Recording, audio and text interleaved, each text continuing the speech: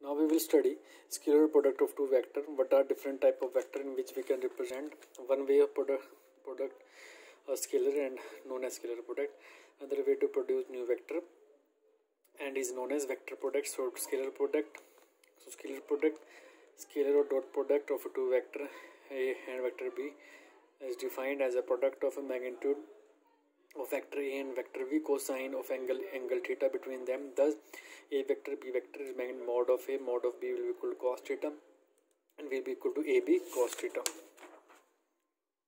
This is a diagram which is showing A vector B vector in between there is an angle which is theta. There are some properties of uh, scalar product. Um, number one property scalar product is a commutative that is AB will equal to BA. Scalar product is distributed over addition. A and B are two vector perpendicular to each other then their scalar product is zero. If they uh, a and b are two parallel vector having same direction then uh, scalar product has maximum positive value which is ab cos 0 and which ab